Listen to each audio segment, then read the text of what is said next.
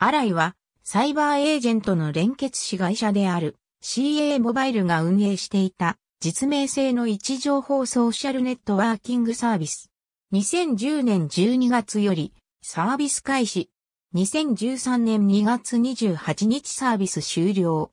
アライの名前の由来は、同盟、連合の意味のアライアンスの動詞から名付けられている。iPhone、Android、フィーチャーフォン、フィーチャーフォン、パソコンに対応しており、無料で会員登録できた。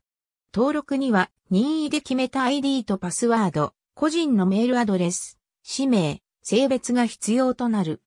フレンド登録し合った友人や家族のことを、荒井上では通称と名付けており、身近にいる親しい人とのプライベートなコミュニケーションツールとして生まれた。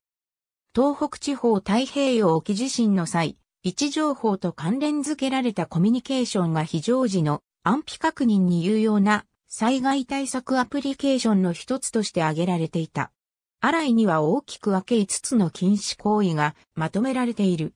ストーカー、煽り、著しく名誉を毀損する行為をすること。わいせつ、児童ポルノ、児童虐待、残虐、不衛生、セクシャルハラスメントなど他人に不快感を与える可能性があるシェア、コメント、画像を投稿する行為。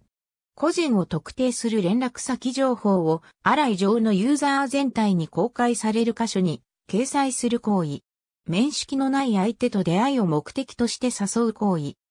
すでに登録されている同1、スポット機能を意図的に複数元登録する行為。なお、該当する違反行為いった場合、または運営者が不適切と判断する行為を行った場合にも強制大会となり、大会となったユーザーのデータは抹消される。ありがとうございます。